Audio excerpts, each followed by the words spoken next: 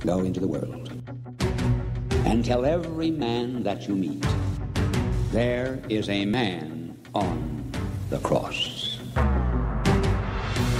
A Catholic Take. What you need to know right now. A bold synthesis of inspiration and information. Keeping you up to date on the news and issues from a courageous Catholic perspective. A Catholic Take with Joe McClane starts now. Praise be to Jesus Christ. Welcome back to A Catholic Take, a bold synthesis of information and inspiration. I'm your host, Joe McClane, and it is good to be on with you. Tucker Carlson, Vladimir Putin, and Dante's Inferno. To hell and back we go today. It's going to be a great journey, and I hope you're going to be along for the entire ride. Do share us with a friend if you can. But our good friend Mike Koeniger, the Brick Wall, friend of the show, is going to be on the show at uh, 14 past. Let's talk about that Tucker Carlson interview. I'd love to know what you think about it. Did you watch it? I mean, tens of millions of people watched it very quickly once it released. I watched the whole thing, watched parts of it a few times. I have my opinions. I'd love to get yours. In fact, producer Jake, why don't we put up a poll? What do you think of the Tucker Carlson Vladimir Putin interview today? Liked it, loved it, hated it, not sure? I don't know, but let's find out. Erik Armusik is going to be on the program at 30 past the hour. We're going to go on a ride through the pits of hell with Erik Armusik's art, his Dante Inferno art series.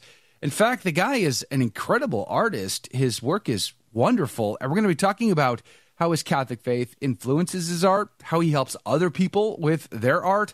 And we're going to look at his series on Dante's Inferno. All of that on the program today and much, much more.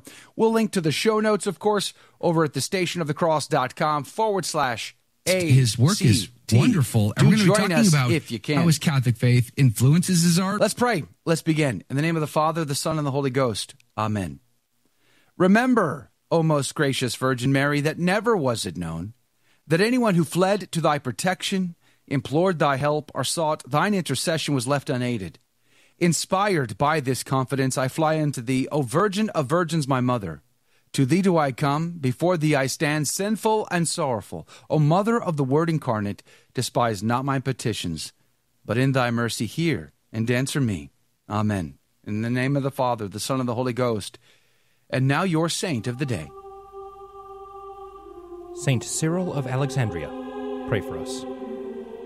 Cyril was born in Egypt around the year 376 and was educated by his maternal uncle Theophilus, the Patriarch of Alexandria, who had fallen out of favor with Rome due to his part in deposing St. John Chrysostom. In 412, Cyril succeeded his late uncle as Patriarch and immediately suppressed the Novatian heretics in Alexandria.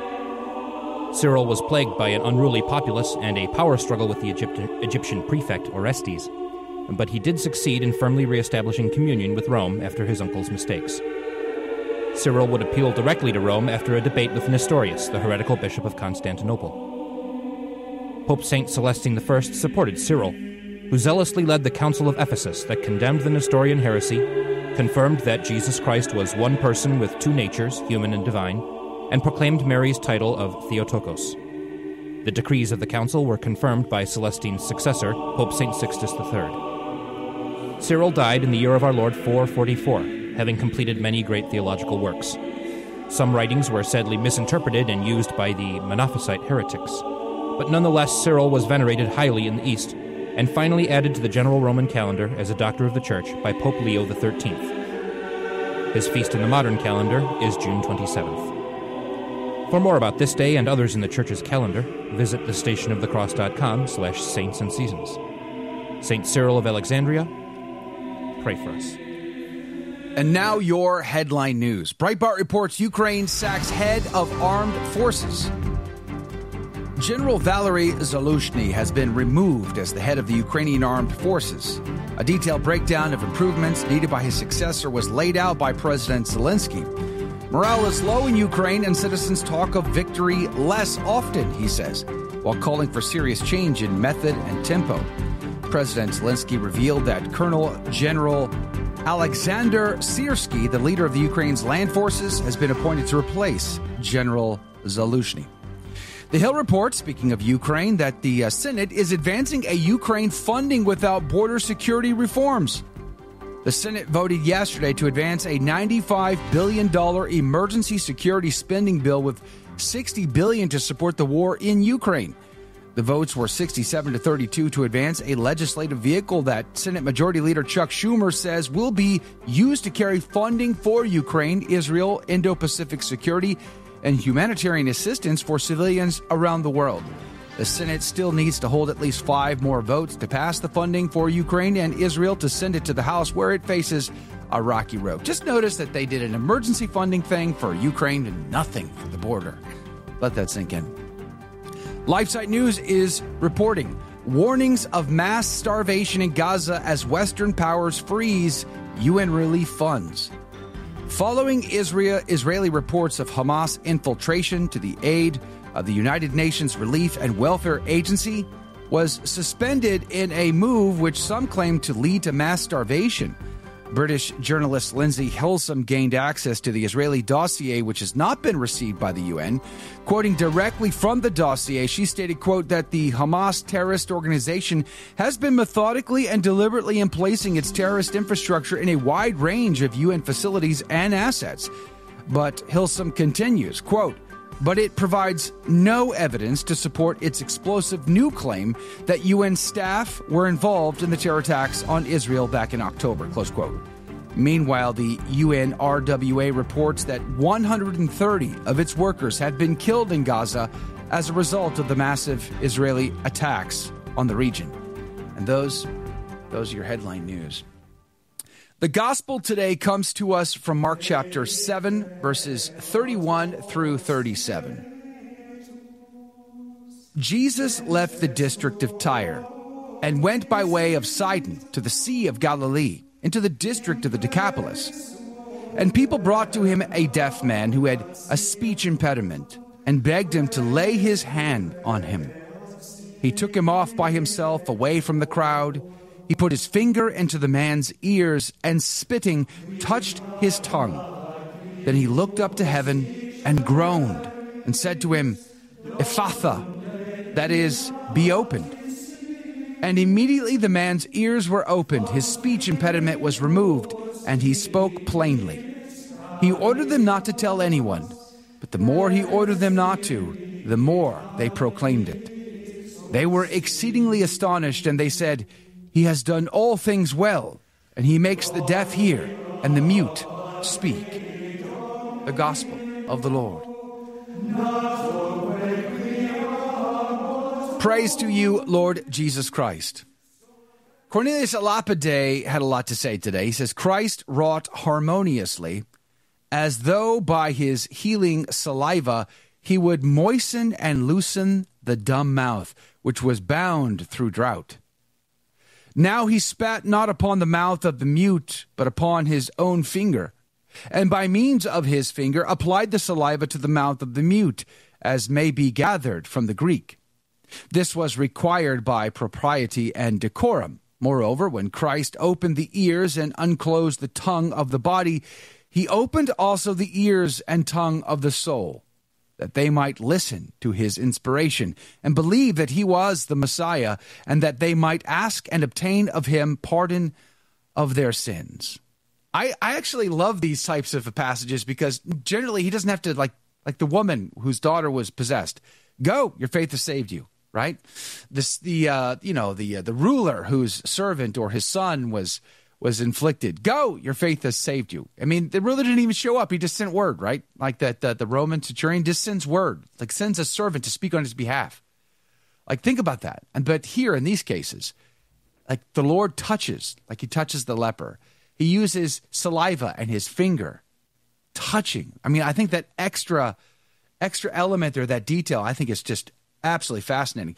Tropologically speaking, Cornelius Lapide goes on to say Everyone ought to seek the same thing and say with the psalmist, O Lord, open thou my lips, and my mouth shall show forth thy praise. Psalm 51 17. We ought to do the same as regards our ears, that we may be able to sing aloud with Isaiah 1 4. The Lord God hath given me the tongue of the learned, that I should know how to speak a word in season to him that is weary. He weakeneth morning by morning, he wakeneth my, my ear to hear as the learned. Now is now this is done when he himself with his own finger, that is the Holy Ghost, for he is the finger of God, Exodus 8:19, and the spittle of heavenly wisdom, which is he himself proceeding forth from the mouth of the Most High, touches the tongue of the soul. Cornelius Lapide would go on to say he groaned both because he sympathized with the misery of the death, the deaf and dumb man, as because in groaning he prayed and obtained healing from him for God, or healing for him from God. He charged them that they should tell no man. That is, this was not properly a command involving a fault if disobeyed, but merely a token of urbanity and modesty, that indeed he might signify he would not make a parade of his miracles, or by their means obtain the vainglory of men. He did not come to be, you know, Nero and pass out bread at the amphitheater and just say, hey, look at me. How, how amazing am I, right? That is not why he has come. He has come to lead you to, to God the Father, God the Holy Ghost, to his blessed mother, to the saints, to the family of God, to salvation itself. He has come to open the way to salvation through grace.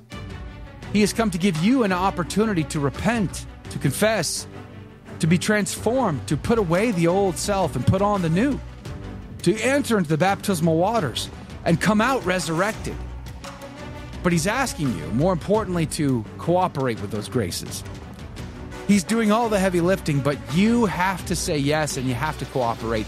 And then you have to live the rest of your life as though you have said yes and that yes has a meaning in your life. You can't just continue to be the old person. It's time to die to self. Be right back. Don't go anywhere.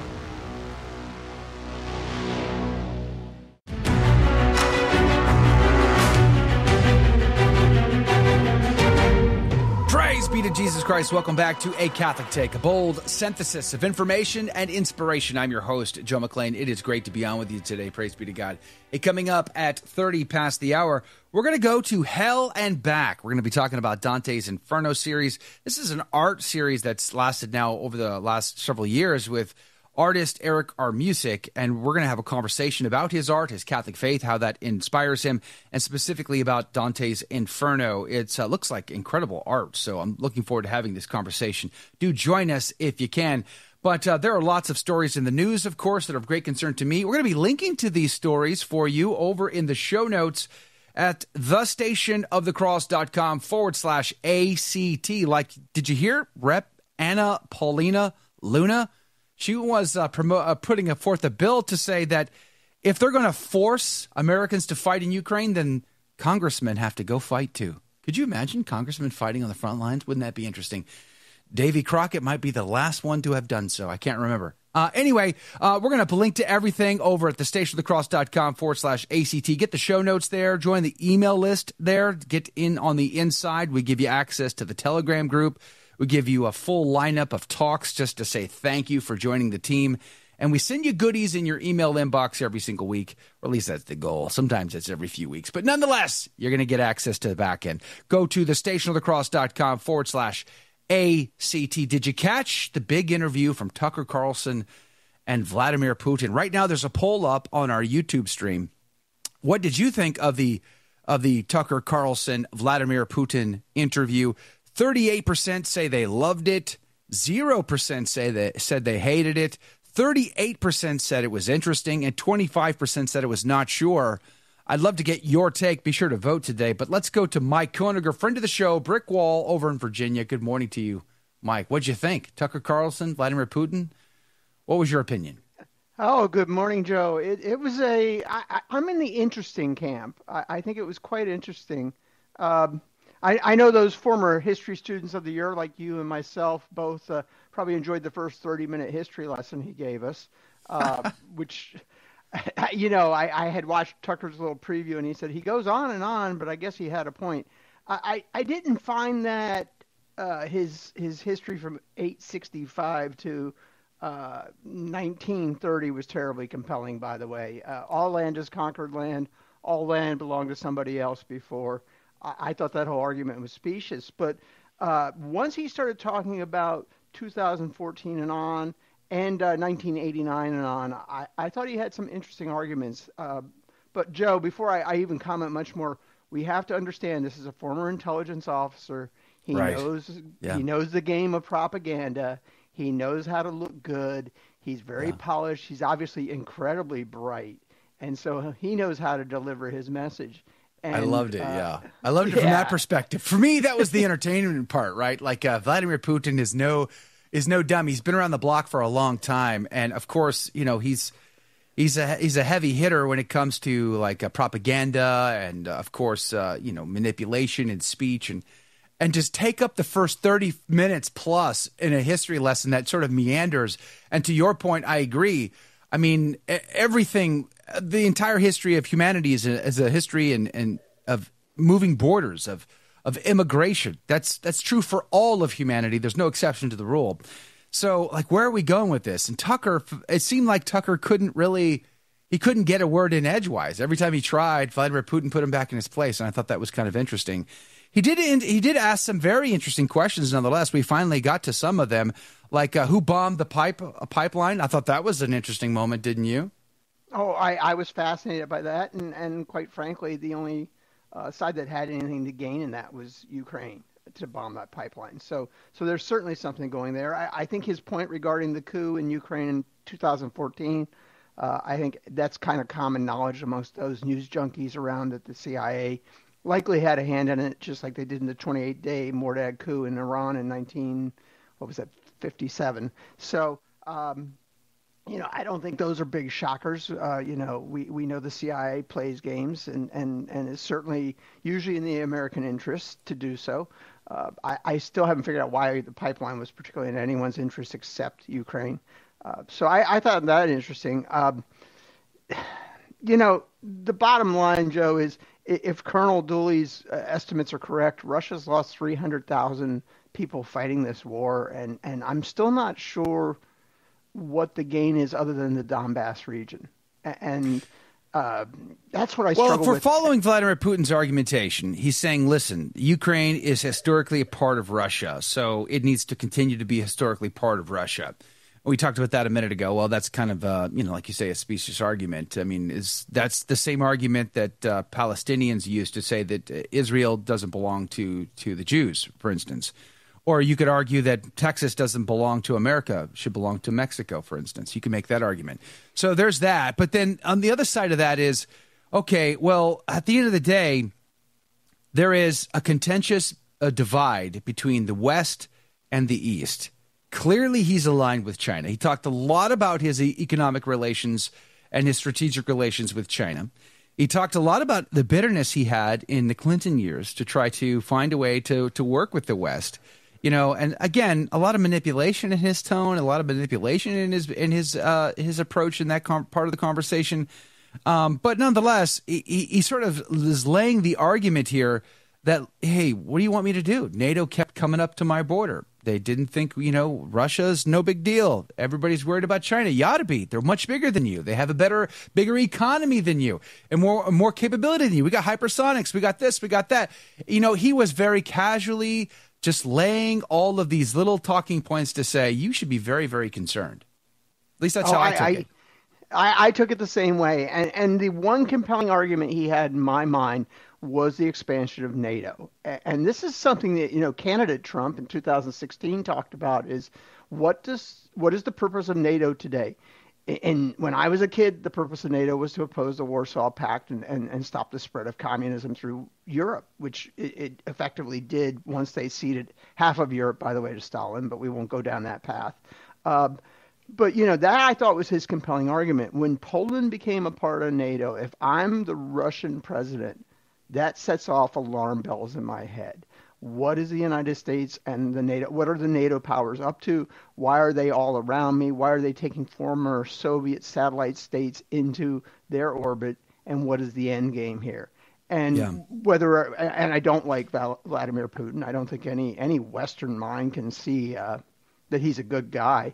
Uh, that part of his argument was quite compelling to me. And then if we did indeed go into Ukraine in 2014, destabilize the government and cause a coup d'état, well, that was the interesting part. Tucker gave him pl- ample opportunity. I would argue, repeatedly tried to bait Putin into it. I would, I would even suggest to get Putin to come out and say the Americans are running this puppet nation uh, uh, led by Zelensky. The Americans are really in charge here. The Americans have of have did the coup on the border. He he had Tucker tried several times to get him to weigh in on that. Putin avoided those pitfalls. It seemed like every time he wouldn't take the bait, he wouldn't come out and say it. Tucker kept uh, following up with that. Well, don't you think Zelensky is just doing what he's told by the Biden administration? Why don't you just negotiate directly with the Biden administration? Putin kept coming back and saying, "Listen, he's the elected official, Zelensky. He he could do. He's he's in charge." He could negotiate if he wants to. Like, what do you think about that? Uh, it seemed interesting that Putin wouldn't take the bait. I think it's all a political game. And again, this guy is well polished. He's well trained. Uh, you know, he's what, 72 years old, 71, 72 years old. He's been in this game a long time. And um, he, he, he is really looking for a negotiated settlement to stop the attrition of Russian soldiers right now. And he wants to keep the Donbass region in the Russian orbit. And, and then he can do whatever he wants in Ukraine because he has an inroad there. I, I really think that's what he's looking for. If we believe what he said about the Istanbul peace accords, he was ready to sign a deal, Joe. And yeah, uh, that was interesting it, too. If he's telling the truth, uh, and and I don't believe he's not because I had heard that there were peace accords and that the West encouraged Ukraine not to sign. I have heard that from other sources other than Vladimir. Yeah, Putin. that that so, was reported. That's been reported now for a while uh, the Prime Minister of England at the time, um, Johnson, went over there and basically put an end to that peace uh, deal. And so Vladimir Putin really hammered on that point. But uh, we're going to run out of time here before you know it. Let me just bring this up. I felt like he, when whenever issues of faith came up, and Tucker sort of gently walked into this, he even sort of asked the question to Putin: Do you think demonic forces? He, my words, not Tucker's. He used different words. But I thought the heart of the question was: Do you think demonic forces are at play in the world around us today?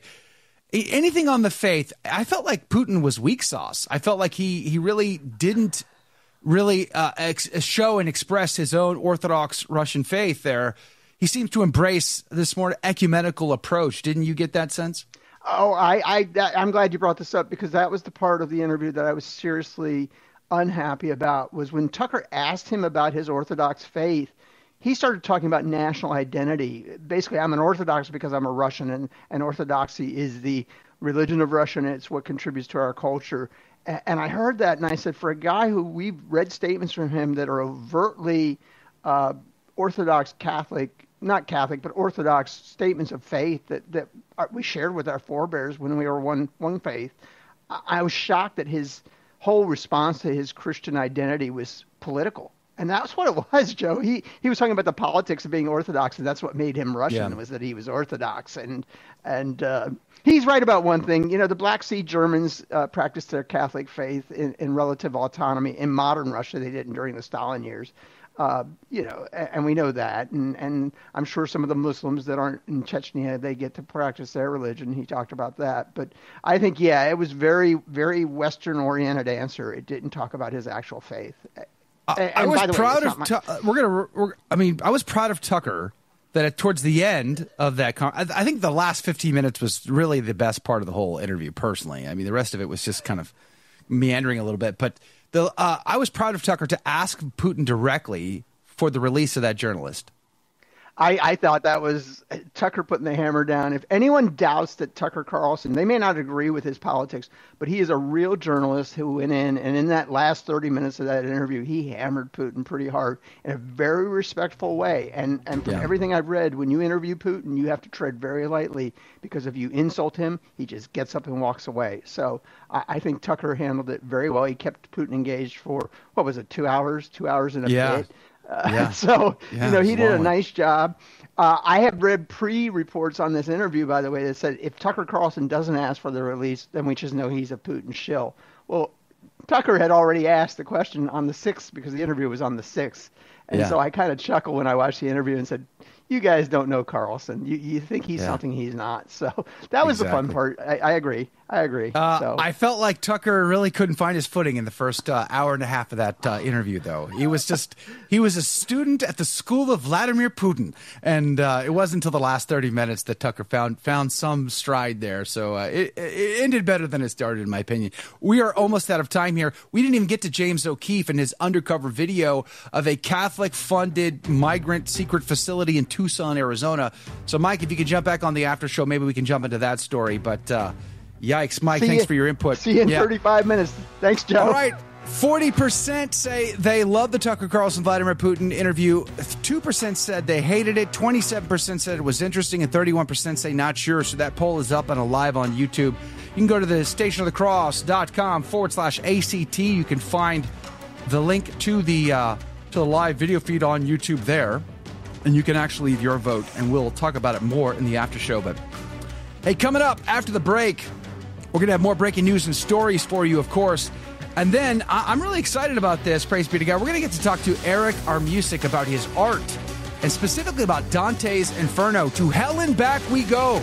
Right after this break. Don't go anywhere. More of a Catholic Take is headed your way next.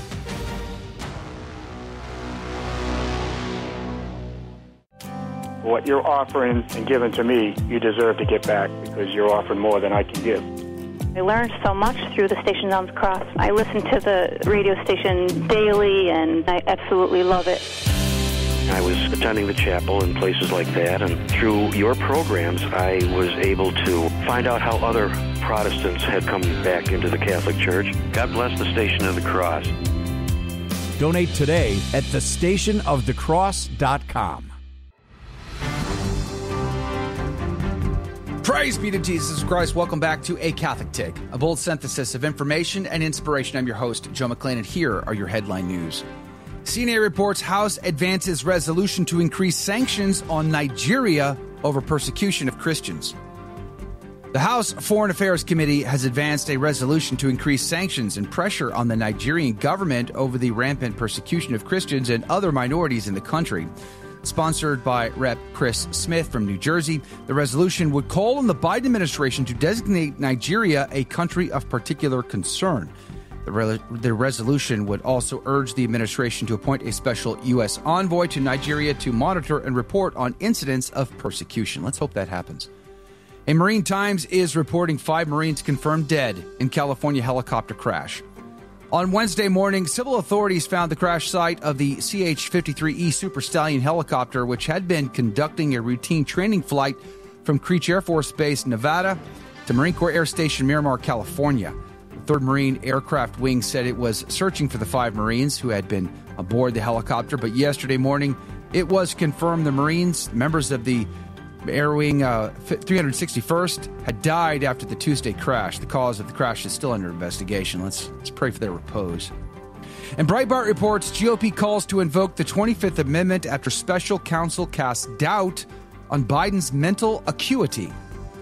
Following special counsel Robert Hur's report, which included stunning revelations of the deterioration of the president's uh, President Joe Biden's mental state, claiming he would not be competent to stand trial, Republican officials are calling to invoke the 25th Amendment. They state that, quote, if ever there were a time to do so, now would be it, close quote, and insist that if the president, quote, is not competent to stand trial, then he is certainly not competent to lead the free world, close quote. And those those are your headline news. Yikes. Hey, uh, praise be to God. Thank you to everybody who's downloaded the iCatholic Radio mobile app and joined the team. We are proud to say that uh, we love being on your team, on your side. Together, amazing things are going to happen. So if you download the iCatholic Radio mobile app today in your iOS or Android app store, you get access to the live radio feed 24 7, clear as crystal, anywhere on planet Earth. It's uh, some great programming there, like this one, Mother Miriam, uh, The Simple Truth of Jim Havens, Ask a Priest Live, Father Mateg, and more, much more. Plus, the podcasts are there, the live video feed is there and more is coming. Plus, ICR Plus content, the documentary film, some talks. Uh, and so I encourage you, join the team today.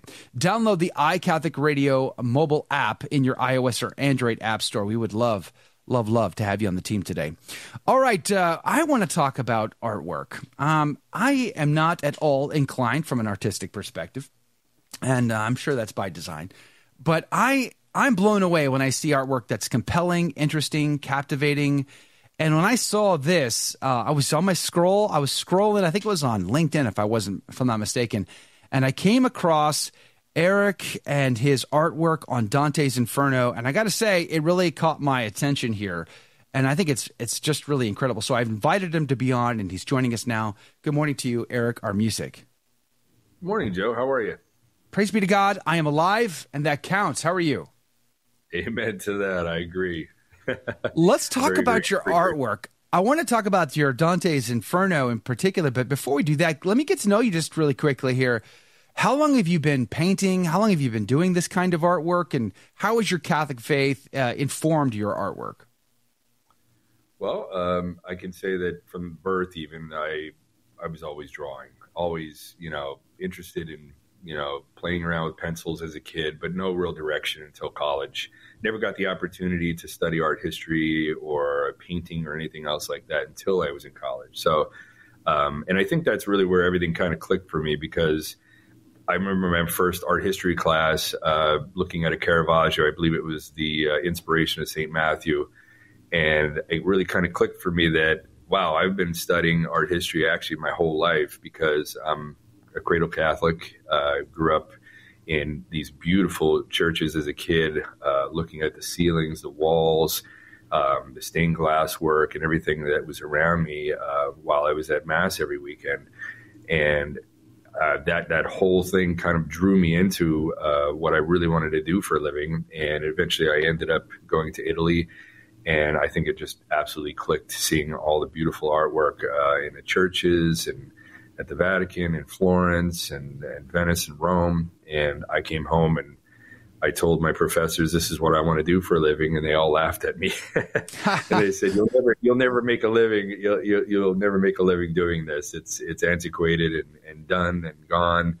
And um, I, fortunately, I'm a very stubborn person, and I said, "Well, I'm going to show you guys." And um, it's kind of funny now. You know, uh, this year is 30 years I've been in uh, business as a professional, and uh, I will say it's, it's absolutely not just informed my business, but it's absolutely been the the um, foundation of my business. Um, when you're embarking on something like this, which is a very entrepreneurial kind of uh, job, you know, most people will say, "Oh, you can't you can't make a living as an artist." Well, I'm here 30 years later. I'm here right now. I have a family of five. I supported all of us, uh, but uh, it, it, really did come down to resting on my faith all the time. You know, really mm. having no plan most of the time. Like, where was the business going to come from? you know what what was going to be the next thing that came through and and when it's when you kind of rest your life on that and you have faith and pray as a family and uh, even through the hardest of storms that we went through um, there's always something there like it's always that next thing leading you to that next part of business and i've had the pleasure of doing some incredible commissions for churches um, some enormous sales of my art uh, the value i've built into my own brand because I kind of had to walk my own path in the art business. Uh, this type of art really wasn't accepted, especially 30 years ago. No one was doing even much uh, faith based artwork. And getting involved in and starting to decide you're going to do that kind of work in the very beginning was, you know, that was, you know, you're blazing your own path. And yeah. uh, so there's really no, there was nothing to rely on, no galleries, no, you know, your typical things that artists do. So I really had to, you know, kind of blaze that. And it's really interesting now after all these years. I've been teaching 20 years of my business, and now I teach a lot of other younger students how to do um, religious artwork.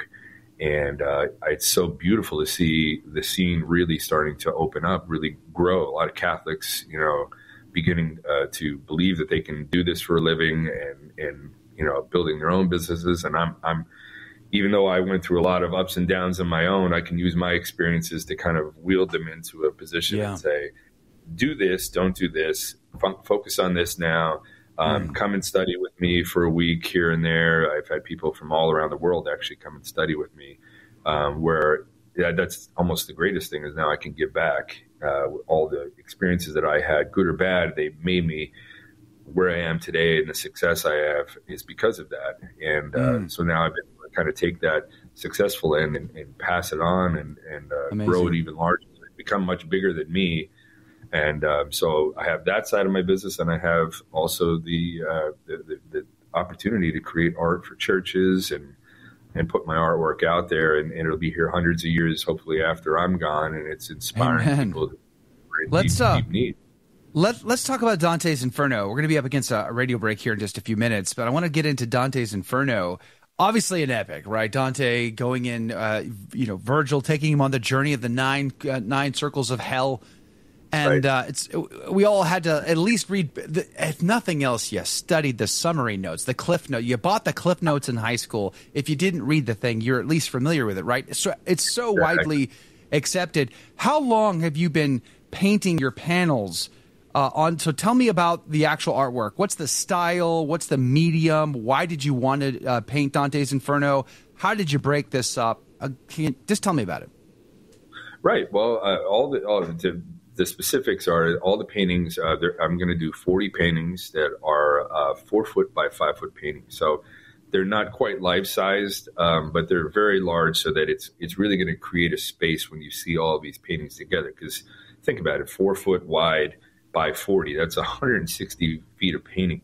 Um, so it would be literally like if it's in a museum, it's going to, you know, someone can walk in and actually kind of go through that whole trail of the Inferno from beginning to end. And uh, maybe it'll progress when I'm finished with this to the Purgatorio and, and uh, to the Paradiso as well. Um, But uh, my my impetus for this was I, I remember receiving a book uh, my mother bought me. Uh, I was in college uh, of Dante's Inferno. It was a translation, and I remember reading it. The illustrations were just some modern art garbage. It it just I'm, I'm reading this amazing text, and I'm thinking that's what you got, the artist. Uh, that's what you created. Looking at this, like, come on, that we can do better than that. And uh, so, but I I didn't have the skills, I didn't have the technique, I didn't have the resources or anything else then.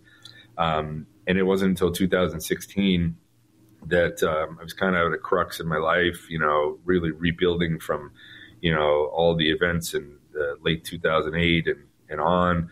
And I'm just kind of looking for like, what is what is that one thing that's going to kind of propel me forward. And I thought, why aren't there any, why aren't there artists getting like Sistine Chapel level commissions anymore? Like where where is that? And I thought, well, if someone isn't going to commission it, I'm going to commission it for myself. I'm going to I'm going to make this immense epic series, something that no one's ever done before, and I'm just going to go about it myself. I have no idea how I'm going to do it, but God will make a way. And little by little, all the pieces started falling into place. I, I found a, a, a wonderful gentleman uh, from University of Wisconsin Madison. He was a retired professor of medieval uh, literature. Um, he's been my advisor with this. We're going to do a book together. I got sponsored by Jerry's Artorama for a lot of the art materials, so that's enabled a lot of this to be built. I've sold some of the panels as well. Um, so little by little, it, it was just go forward. Don't be afraid with the, the the idea, and it'll it'll materialize with the way it needs to. And uh, and and as it stands now, I'm I'm on about the 15th panel out of the uh, 40 uh, that I've that I've worked on for the last uh, six or seven years. I was hoping to get through it a lot quicker, um, but it's it's it is the most uh, incredibly challenging. Uh, I, I think that's funny.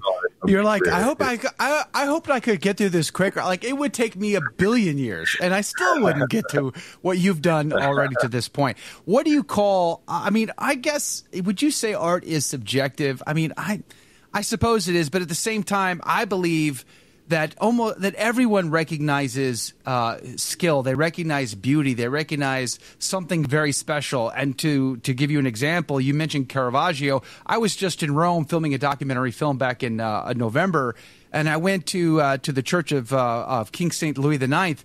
And everybody rushed in, not to go to the altar. They rushed in to go see the Caravaggios in the back left corner. You know? so, like, and, and, you know, they didn't stop to genuflect at the tabernacle. They were just ru- so. My point being, like, people all over the world recognize something that stands out to them, and I felt like your art did that for me when I was scrolling. I stopped scrolling; it caught my attention. I was like, "Wow, what do you call? Is this like photorealistic style? What's the style of artwork that you are employing uh, here?" Yeah, I would definitely say it, it, everything I've ever been inspired by is probably 400 years old. Uh, I, I, really some stuff I pay attention to in our modern world, and, and, obviously the models that I use to pose these these uh, characters and everything are from our modern world. It's my interpretation, but everything tends to be very old Baroque uh, looking. There's maybe some uh, influence from uh, maybe like 19th century uh, French Academy uh, artists as well. You know, that classical, neoclassical look to certain things. Um, I enjoy that as well, but um, I would I would definitely say you know I, I agree with you to that to that point that um, you know art being subjective. I mean, do we have to tell somebody that a sunset is beautiful or not? You know, there's there's certain things that we're we're innately drawn to when we see it, and I wanted to create a series that was unlike what I had seen in that book that I mentioned earlier. I, I, didn't want to be told it was art. I didn't want to be told that it was it was this or that part of whatever canto in that in the Inferno. Like I really wanted people to experience it, to almost see the real characters in real life playing these scenes out around them. So then they walked in this this you know exhibit space. They literally felt like they're entering into the Inferno, and, mm. and they couldn't help but, but be a part of it and, and experience it. Hold that thought. Erik Armusik is our guest. We're talking about his, his work, Dante's Inferno series. We're going to be linking to it in the show notes for you over at thestationofthecross.com forward slash ACT, but it's erikarmusik.com. That's A R M U S I K, erikarmusik.com. Check that website out. But on the other side of the break, I want to get to know a little bit more about the process. Uh, you know, my daughter, she's an artist, she likes to paint. I don't relate. I don't speak the language. I can't understand the skill level. So it, it amazes me to see sort of behind the scenes of it. So, where does he get his models? How does he choose faces to put in the artwork? Kind of reminds me of Michelangelo and many others. We'll be right back. More is coming up next. Don't go anywhere.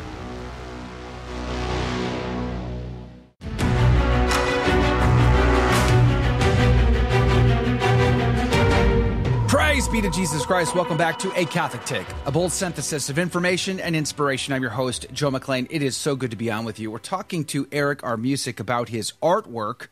And again, you can find his website linked up in the show notes today at thestationofthecross.com forward slash ACT. We want to encourage you to join the email list, by the way, while you're there. Get access to the back end, to the Insider Telegram group, to a bunch of other goodies as well at thestationofthecross.com forward slash ACT. But Erik's website is erikarmusik.com.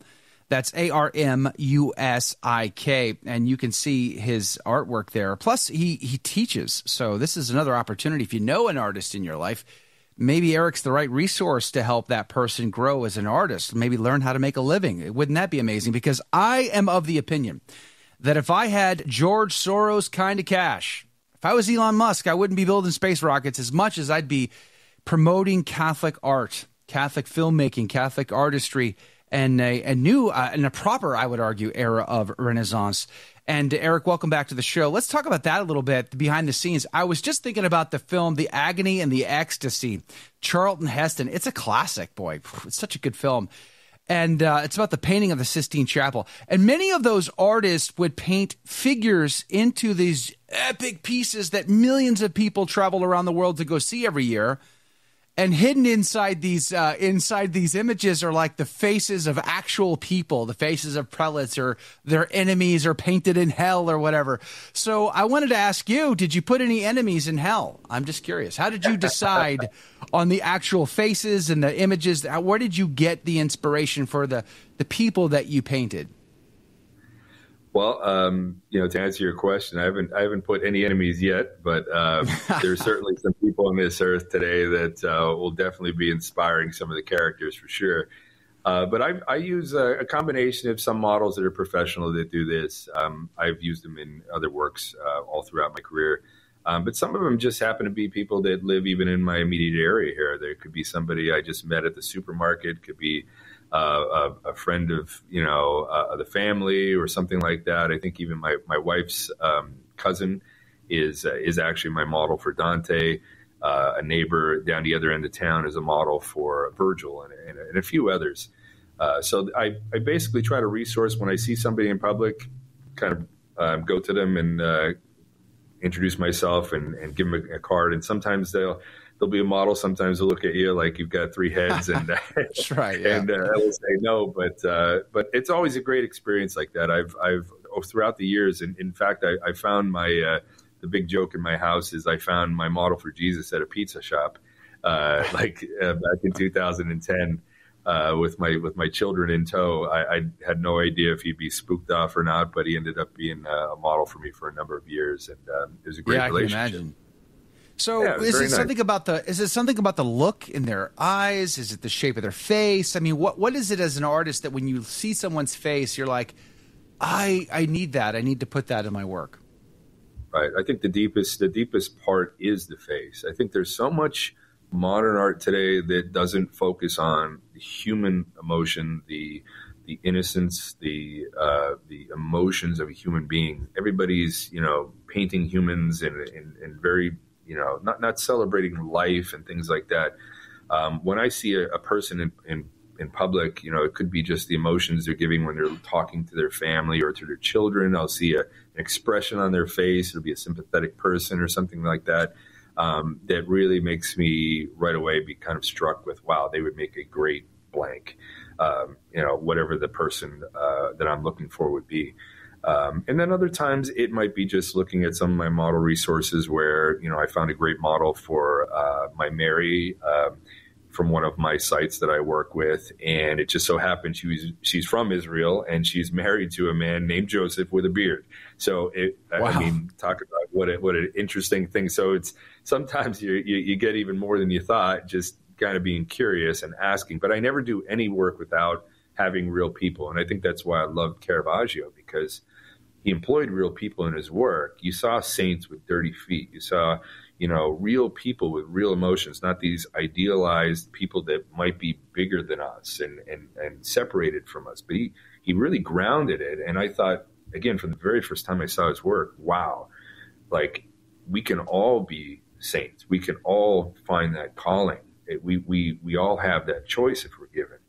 Um, and I think that that kind of found its way through all the subjects I deal with, whether it's religious art, um, Dante's Inferno here, historical pieces I've painted over the years, and other subjects we'd have seen 500 years ago. Um, I'm always trying to use that kind of you know reality of a, of a human being really acting these scenes out, not just inventing them so it, it, it wouldn't make that connection you know with people. I really want them people to feel like a real connection with the characters uh, that are in my artwork. Where where do the panels live right now? And uh, do you have a plan for when you complete the entire project? Is there a plan and a vision for how they will be used, where they'll be displayed, who gets to see them?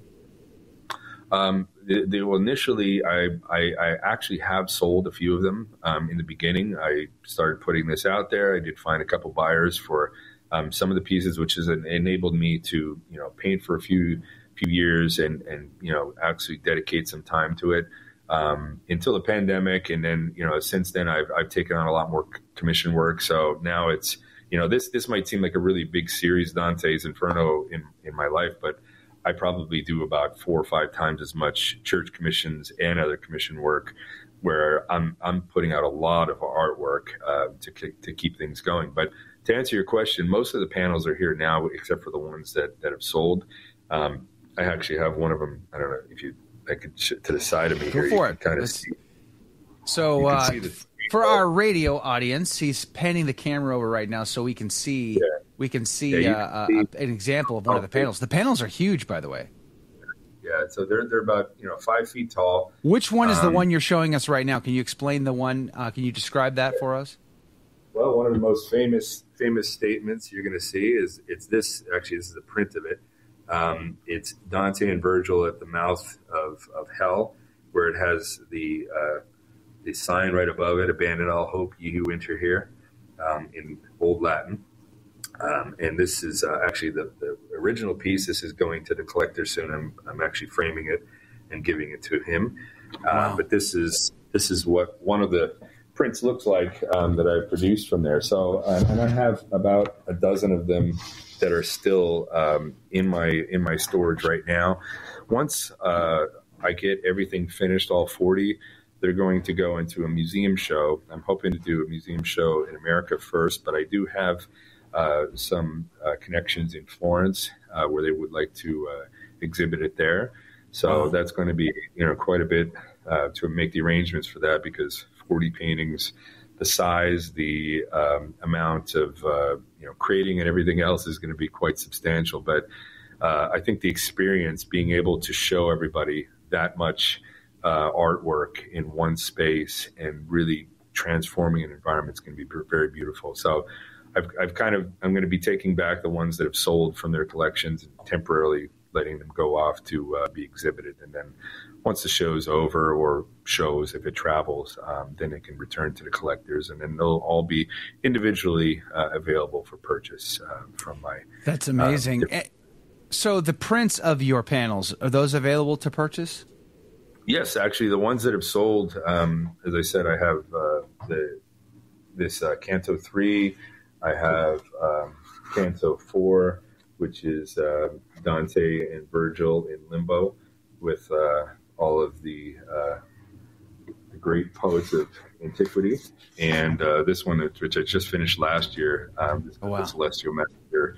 Um, uh, this one is Canto nine, and um, uh, that particular model was uh, from uh, Lowe's that I found him uh, that played uh, my, my uh, archangel in that piece. Uh, it's kind of funny. I can imagine that's kind of an awkward conversation. Hi, how you doing? You don't know me. Can I paint you? Like, Just yeah. a little bit. okay, weirdo. Uh, Erik, your artwork is amazing. Uh, thank you for sharing it with us today. I really appreciate that. Uh, I'm going to encourage everybody to check out your website, erikarmusik.com. That's A R M U S I K. erikarmusik.com. Check it out. We'll put a link to it in the show notes to make it easy for you. But, Erik, God bless you and God love you. Thank you and have a great day. God bless you too, Joe. Thank you so much. Go to the stationofthecross.com forward slash ACT. God love you and God bless you. And we are back. Welcome to the after show and happy Friday, everyone. Happy Friday, praise be to God. Any artists in the in the group here? I thought I saw some chat chatter about that, but I well, couldn't put, pay too much attention to that. But if you are if you are an artist, let us know in the chat box. I'd love to know it.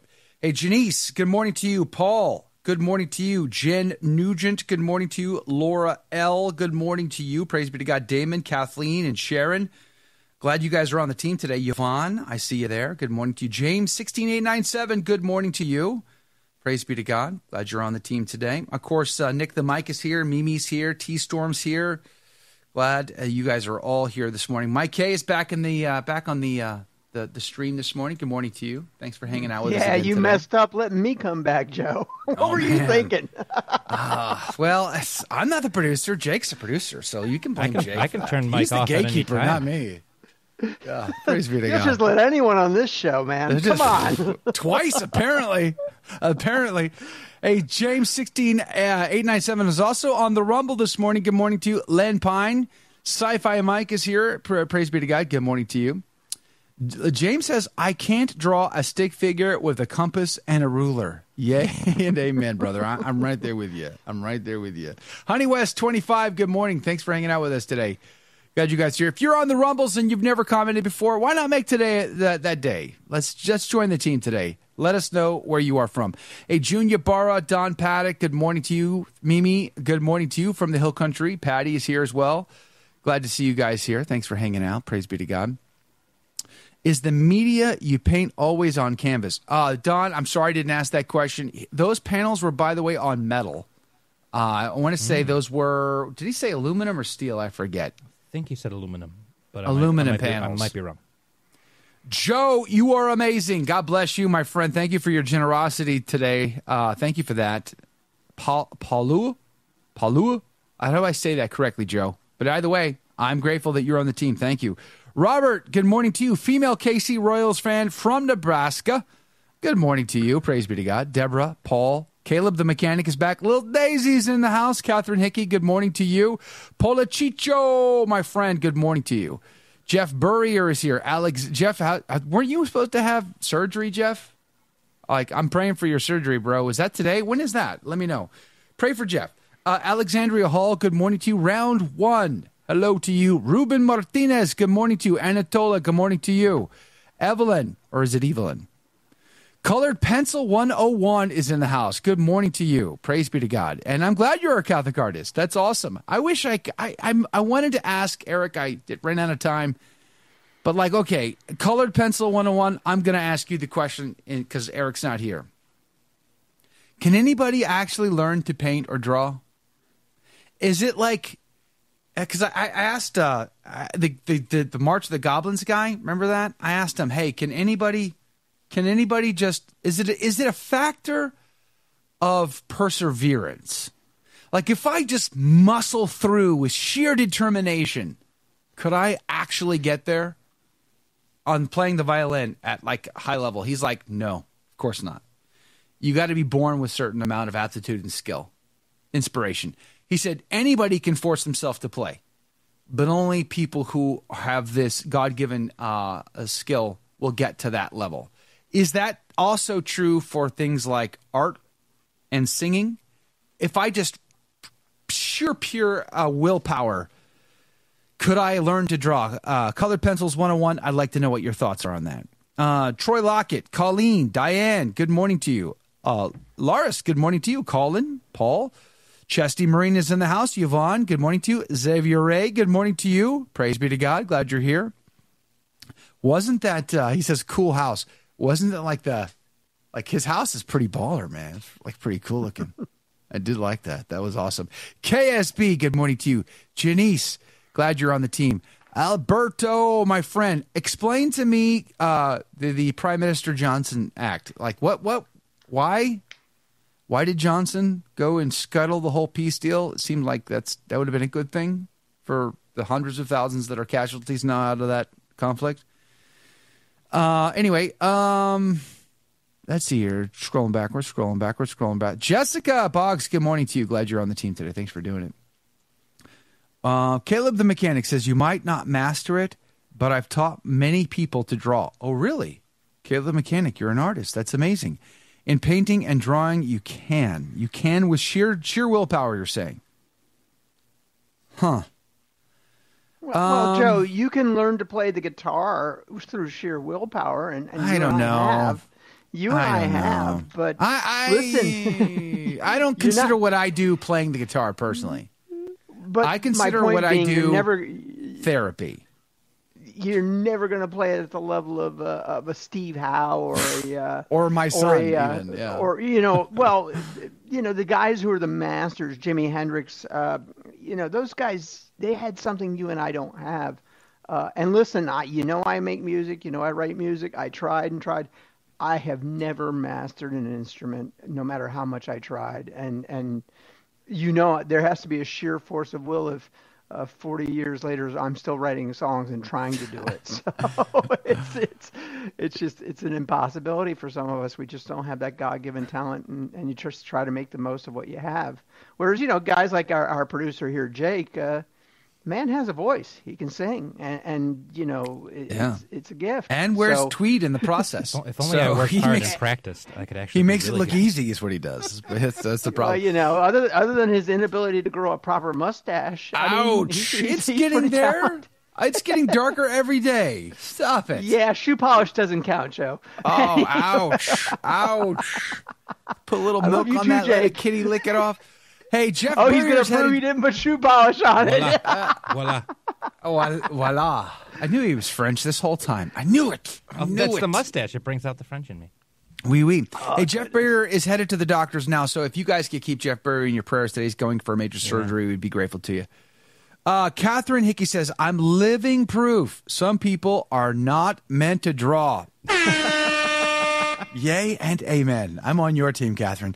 Color Pencil 101 says, yes, you can certainly learn the skills, but you may not reach the level of Erik or myself. Well, I'm jealous. I'm super jealous. I, I Um, I I- can't draw anything. Like I've tried. Can I- I've tried. Can I share something I learned late in life? And um, maybe, maybe Mike, you might be able to relate because you you are of even higher vintage than I am. better, better was the word you were looking for Gr- there, Joe. hmm That's that's certainly an option. Certainly one of the options. the older Uh, the wine, the good. I wish I had known this when I was younger. Even though it was taught to me when I was younger, I didn't listen. I was too busy doing bad things to pay attention to wisdom. you can put anything you put your mind to. Almost, right? Like climb a mountain? Okay. Uh, go to the moon? Yes, I could go to the moon. Of course. I don't care what Jake says. I could do it 100%. go to Mars? Yeah, I could do that. Go to the bottom of the ocean? I can do that too. No problem. Play guitar? Sure. Sit back and watch. I'll, I'll figure this out somehow, some way. As long as I'm willing to to persevere until the end, I've learned that there's this superpower of applying your effort, your mind, your intention, your willpower, your sheer determination to never quit towards a goal, towards a task, and you can accomplish that. You know, producing a documentary film, you know, f- filming it, traveling, editing, producing all of it. It's hard. Let me tell you, hundreds and hundreds of hours went into the film we released in December. I, and I'm not that great at it, but sheer determination will go go a long, long way. But I, to the point we said earlier, that gets you to here where everybody else is here, but the greats are there, right? So never going to be great greats, at anything. Greats are, twice as high as wherever you end up, and that's that's Yeah, reality. By the way, Joe, and, Mm. you know you're not aware of this, but I'll say it, and, and this is not pandering in any any stretch of the imagination. But you make what you do look really easy, and having sat in that chair, Whatever, having dude. sat in that chair and had to try to do it, and Jake will tell you. He's, he's talked me off the ledge more than once before the show started because it is it is intimidating to be in that chair. Not only from the standpoint of you don't want to mess up, you don't want to get in trouble with the F, uh, CC, you don't want to do all those things. Uh, the other thing is when you deliver that gospel message, you have taken on a uh, a burden that you will be judged for in the next life, and Yeah. that is terrifying to to anyone I think who who believes in the Almighty and all powerful God. Yeah. That is a terrifying Amen. spot to be in. And Well Joe, said. you do that with just Ah, no way, bro. In fact, I want to come. I want to chime in on that. You, you you triggered me on something with Tucker Carlson last night. But first, let me say, Chris Anderson says, "I just want to go to heaven. This is much work for me. Yay and amen." Amen. This is the perseverance that we need to apply the most towards, right? To, to persevere until the end with fear and trembling, working out our salvation. Our Lord makes it clear. I was there was someone who commented on something I said on Twitter on X the other day. They were scandalized by all the scandals in the church, and they were basically leaving the church to go Lutheran. And I'm like, you don't leave Jesus because of Judas. Well, I've got my faith. That and a nickel get you nowhere because you know Christ only founded one church. He's got one body and one church. And you don't leave Judas simply because of the scandal. You know, you don't leave Jesus because of Judas. And um and I I- I reminded this person uh, with with charity. I said, you know, Matthew Matthew's gospel, our Lord said very clear that only those who persevere until the end get to enjoy the bennies, right? So perseverance requires sheer determination on our part. So thanks, Chris, for reminding of that, reminding us of that. Um, you you just triggered me a little bit. That's your Well, God given I- you talent, know- Joan. And I'll, let me say this because when I was watching when I was watching Tucker last night, to go, let's go back to Tucker. By the way, uh, so the results of the poll so far did, was the Tucker. Did you like the Tucker Carlson Vladimir Putin interview? Thirty-five percent say yes, one percent say hated it, thirty-seven percent said it was interesting, twenty-seven percent not sure. If you haven't voted, please consider voting. It's over on YouTube right now. Lynn Pine, good morning to you. Sci Fi Mike. Sharon is on the team today as well. Good morning to you. Thank you. KB, good morning to you. Praise be to God. Um, so I was watching Tucker, and like I said, the first hour and a half, Tucker is a school child at the school of Vladimir Putin. You know, what was that? What was the scene in, Red, in Hunt for Red October? and uh, the two sub the two Russian sub captains, one's the student and one's the master, school master. It's like that's the scene that popped into my head for starters. But I'm going to say not only this. not only was he in school, but Putin handed him the textbook. Said, That's "Here's exactly your reading. right. Here's your homework."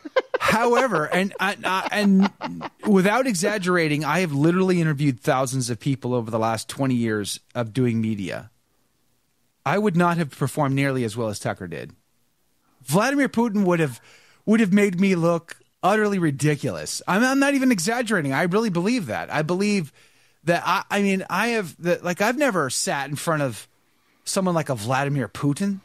Like, I, could I could I stand my ground? Like, could I with as much deference, with as much skill, with as much patience as Tucker Carlson had to have to go through 45 minutes of a history lesson and not upset the apple cart to the point where Vlad gets up and walks off, but to keep him on the conversation to the point where Tucker got to end it, right? It was at Oh, the yeah. end of it, it was like complete opposite. It was schoolboy in the beginning and then master at the end because at the end, Tucker was the one who decided when to end this thing. Tucker does this thing, and, I've caught on to it a long time ago. When you're uh, bloviating on something he really doesn't care about, or he thinks you're just insane, he looks at you, he cocks his head, he opens his mouth, and he just stares at you. Yeah. And he he, did that the Yeah. entire first half hour. Yes. Yes. He's just so staring true. Like this is Tucker. The whole time, the entire conversation. You know, it's like I was telling I was telling Jake this the other day. Like I'm gonna okay, I'm just gonna I'm just being honest. I'm explaining, not complaining. All right, it's a little caveat here. But when I'm interviewing somebody, I'm gonna be honest. I'm only 75% engaged. The other 25% is wondering why I just screwed up the camera switching you know, me taking my glasses off and on, looking over to the chat box or something else, or just some sort of distraction. Like, you know what I mean? Like, so my brain is, is, you know, as Rush Limbaugh, he was only 50% involved. The other half of his brain was tied behind his back. You know, there's something to that. It's hard to be absolutely consumed by the conversation and be totally present. It is incredibly hard to do that when you're doing a lot of the mechanics in the back end. Tucker Carlson Not- obviously doesn't have that problem. He does. He's got people who will do everything else. Jake, it's not that he won't do everything else. It's just that our system, the way it's all set up here, uh, we are trying to punch above our weight. So we are having to to duct duct tape several things together to make it all work. Jake is just not capable. He's not able. He doesn't have the technical uh, ability to control my cameras, for instance, or whatever. I can't believe you actually got me yesterday to say, "Hey, give me more things to do during the show." I- exactly. Yes, we were in a meeting. We were talking well, about. no, the the, the reality is, more. Limbaugh had a whole team of six, seven people in the booth who Right. were doing the work he was Yeah. doing, and and and you know you're a two two man operation there during the show during the show. Right. And, and the other thing is, is, is the things that you have to conquer, and, and this is a little behind baseball here, but Jake comes in your ear and says 60 seconds left. It's hard not to want to say, okay, thanks, Jake. You know, you just got to keep on rolling. The other thing, Joe, Yeah. that I learned, my very first show where you were gone and you said, would you guest host? I spilled the entire 40 ounce cup of coffee in my lap as Good the times. music was coming Good times. into the onto to open it Bro, up. for I've been there. I've done that. And and then I ended the prayer and forgot to, to do the sign of the cross. And, and Bro, I'm like, I can't well, even remember my own tagline. I don't want to hear it. Okay, listen, please. Well, the funny it's my thing is- show, and I, I screwed up all the time. So My, I the mean, voice in my head, which was Joy McClane, was Joe McClane. Joe McClane said to me once, he said, "You just keep pushing," because I had been a guest and I messed up once, and so I just kept on pushing. I didn't acknowledge it. I didn't talk about it. I just kept on rocking. And Yeah. and Joe, you do that all the time, and and It's hard though. I know, but I, I just wanted to say that I, although I am slightly critical of Tucker Carlson in this interview, I don't want to. I don't want it to be thought that I didn't recognize as somebody who's done this that he's at a level above. Right? He he is definitely. I I believe he's at a level above because like if you watch a lot of uh, talking head commentators who are like national international figures, you know, Stephanopoulos or or or Cronkite. The lady Ampur, Ampur, Christiana Amanpour, or whatever you can name is, yeah. anybody you want. Raymond Arroyo. I'd put Raymond Arroyo up there. Guess what? Raymond's got a clipboard with all the questions. Or nowadays, he's got a, an iPad or, or an iPhone on his lap looking down. They're all they're all doing it. What did Tucker have in his lap? Just curious. Nothing. Nothing. Tucker was there. He was present. He was listening. He tried to interject in that first hour and a half. Putin schooled him, told him to shut up, sit down, and listen. So he could have he could have gotten feisty, and he probably would have lost it all. He used prudential judgment, kept Putin on the hook, kept him talking, and was able to ask him, you know. And then out of nowhere comes a comes a left a left jab. Who bombed this? Who bombed the pipeline? You did. I was busy that day. Like, man, baller moment. Just baller moment. An hour and a half of of of, of college history lecture to who bombed the pipeline? You did. I was busy that day. like, bro, you just showed your chops, man. That was so good. So I just from like a, a mechanic perspective, like a like a guy who does this kind of work, but not at that level, just my mind went at that moment. It just took an hour and a half to get there. The first hour and a half, I was like, oh, come on, Tucker. Jump in, bro. This guy's got you on the ropes, man. And nah, uh, he didn't. He didn't. it was so funny, man. It's just hilarious. No, it was. But, it uh, was. There were. There were a few moments. The big issue is Joe, and and, and I'm I'm learning this in nego because a discussion on the radio is a negotiation, and, and my professional life negotiation is a big part of what I do, and you cannot be thinking of the next question while the person is talking, and that is tough not to want to do, particularly if you're someone who has a love of of, of uh, discussion. Uh, where oh, as soon as Joe finishes, I'm going to ask him this question. You can't do that, and Tucker doesn't do that. And so Yeah. for him to come back with, "Oh, I was I was busy that day," that, I mean, that was quick. that was good, man. That was so good. That was so good. That was so good. That and was, Putin chuckled. Putin I was that like, was funny. as soon as I, I know, that's what I loved about it. Was like because Tucker and Putin obviously were able to have a little tit for tat, right? Like this guy, this guy's no joke. He Mutual was respect. KGB. He was, you know, you don't, you you don't, you're not 20 years in power in Russia and not not be a gangster, right? Like this guy's mob material. Like the mob is is not as good as this guy. So I mean, I uh, but I I'll say this: I ho- I had hoped that Tucker would ask some other kinds of questions um, that he didn't. Of like, for instance, like the um, the Wagner Group boss all of a sudden mysteriously dying in a plane crash. Yeah. How do you explain that, Vlad? Explain that one to me, Vlad. You know, like I he didn't even go there. Like, I would have liked him to push Putin on the denazification term that he keeps using, and, and well, he uh, talked about that. They talked about that. Well, but he he didn't push back on it like I'd hoped. You know, uh, while while he's talking about denazification, uh, have you done anything to decommunize your country? Uh, you know, that would have been a, an equally, uh, you know, as, as bad Okay. as Hitler was. Stalin was just as bad. Come on. yeah, Stalin was ta- Stalin was uh, Stalin was was horrible, and uh, and he was simply Lenin 2.0. In fact, many people believe he poisoned Lenin in order to take absolute authority. Stalin was probably possessed by the by a demon, but nonetheless, um, just look how slick Putin was in the whole thing. Uh, let me tell you a story. Doesn't name names. This is like all parable material here. Once there was a guy, and he killed a man, and he went to prison. But the man he killed, oh man, this guy was really bad. You know, so like was he bad? cars like, over the heads. Like you know what I mean? Like, people up on the road. you know, like what, like like he was just telling these like generic stories with no names, and just the way he was doing it, it was just like Vlad, man, Vlad. Like, oh man, it was hilarious. You you got to Once- once I imagine. You yeah, got to imagine the fervor at the CIA headquarters watching that interview last night, trying to analyze body language and and uh, trying to read between the lines and figure out what's what he's saying. I would love to have been a fly on the wall, uh, you know, of these analysts reviewing this content, this material. It would have been amazing. Yeah, exactly. It would have been it would have been amazing.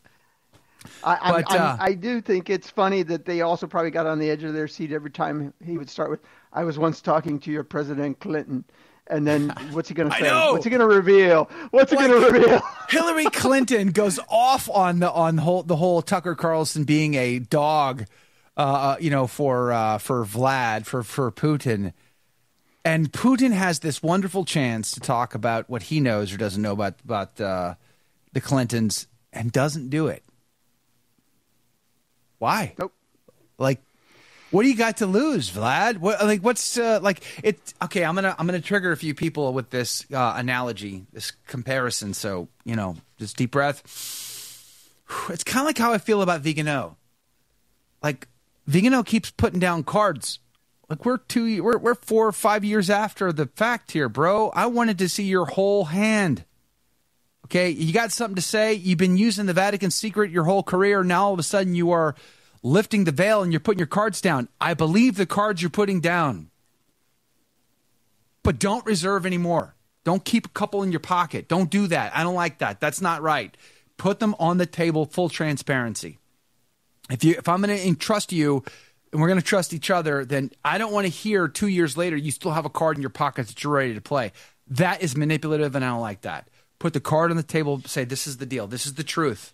If I, my, my conscience is telling me to, to reveal the truth and I'm going to I'm going to uh, violate the Vatican secret deal, then I'm putting my cards on the table. I've always felt that about Vigano. Uh, not that I didn't believe him, it's that I always felt like he was holding something back. That is a power player being manipulative. I don't like that, even if he is playing with truth. Vlad, same I, I thing. So similarly, like Putin, what do you got to lose, bro? You want us to believe you, but you're not going to. You're not going to name names. You're not gonna. You're gonna avoid uh, the the sticky points. You're not. You're gonna just dance around this with a history lesson and a a shuck and jive here and there. Like, bro, I can't trust you as far as I can throw you. And then, especially on your faith, you go weak sauce on your faith.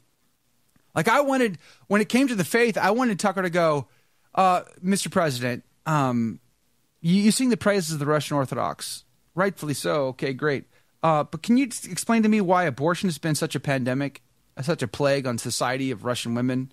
Can you explain to me why uh, vodka is subsidized in your country and alcoholism is through the roof? Can I just, I'm just want to know how faith plays a role in those big moral issues in your country. Can you just explain that to me? And what, why would you, if you're a Russian Orthodox, then why would you embrace, you know, Muslim faith or whatever else because of political expediency? That seems contrary to what we believe. That seems strange to me. Can you, you know, like he didn't push back on any of those things, and he, um, you know, he certainly. Uh, he certainly allowed Putin to go kind of very weak sauce on that. I, I, was surprised. Like, why would Vlad not do that? Like, why wouldn't he come out if he really believed these things? Why wouldn't he? Like, what is the political expediency to play play the soft ground on that? I don't know. It was felt weird to me.